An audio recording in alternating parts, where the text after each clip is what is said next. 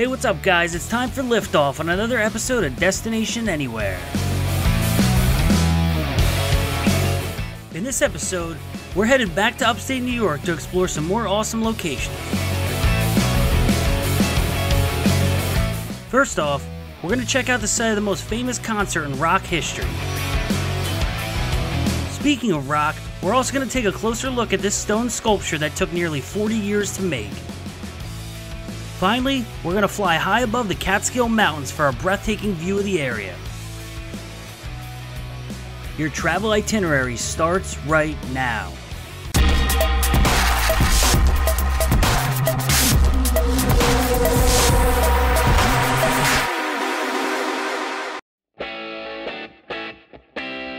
First off on this trip, we headed to Bethel, New York to explore the site of the famous Woodstock Music and Art Concert in 1969.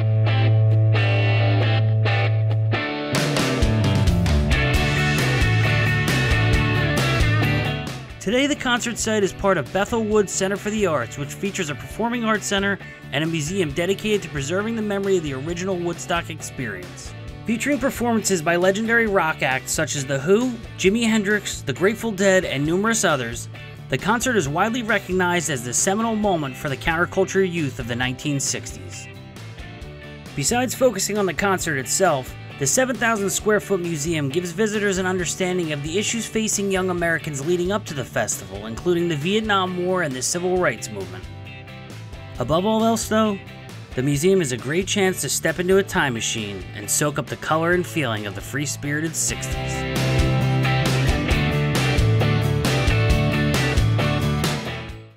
Located a short distance from the museum is the hallowed ground where it all took place over three fateful days.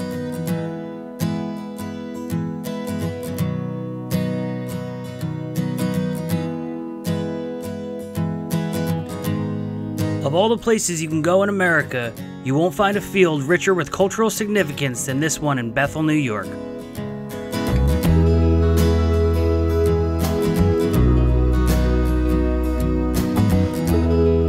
After finishing up at Bethel, we headed through the Catskill Mountains to the actual town of Woodstock.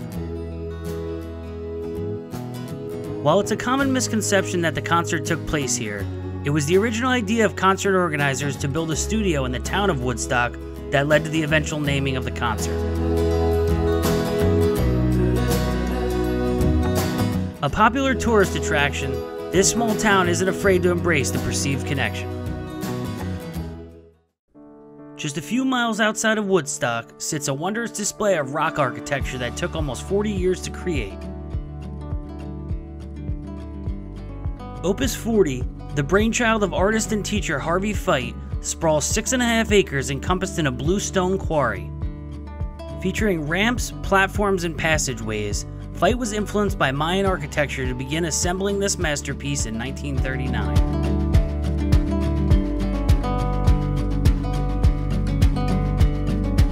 By 1964, he was determined to build an iconic central figure when he raised this 9 ton bluestone monolith in the center of his work.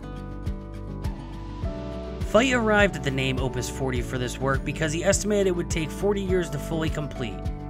Sadly, Fite died on the grounds 37 years after he started, falling just three years short of his goal. While Fite's no longer around to oversee his creation, Opus 40 remains closely guarded by Overlook Mountain off in the distance. The next day, it was time to conquer this mountain and see what it was hiding. Located in the central Catskill Mountains, it rests in the heart of the 590 acre Overlook Mountain Wild Forest area. After about a two mile uphill hike, we came to the ruins of this old abandoned hotel.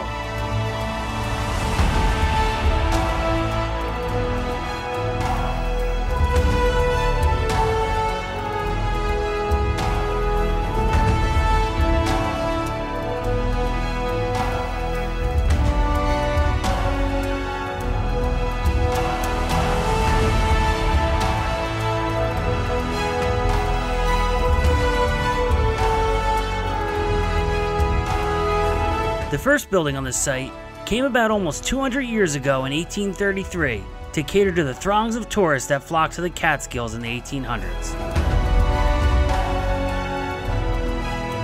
Eventually, the hotel lost out to its competition in the Catskill region and was reopened as the Overlook Mountain House in 1871.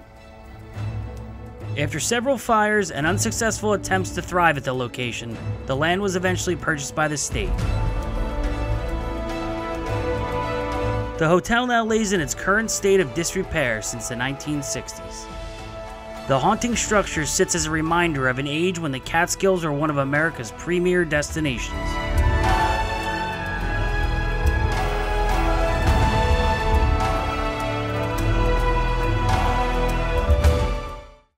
Back on the trail, we headed up another half mile to get to the main natural lookout point on the mountain. Seeing the etchings in the rock, it's hard not to think about the many eyes that have gazed out over this beautiful view. Off in the distance, the Hudson River glistened in the sun. Also glistening in the sun was the back of this timber rattlesnake we were careful not to disturb. After a few minutes, we headed back the way we came to check out the central attraction on this tour. Standing tall at the top of the mountain is the Overlook Fire Tower. This 60 foot tall fire tower was originally built in 1927 in another location and moved here around 1950. Originally used to spot wildfires throughout the Catskill Mountains, it's easy to see why authorities picked this location to get a bird's eye view of the area.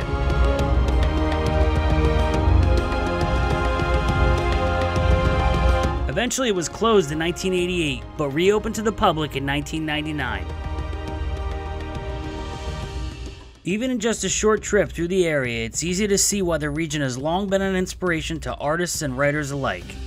Located just a couple hours outside New York City, Northeasterners looking for an escape know they always have the Catskills.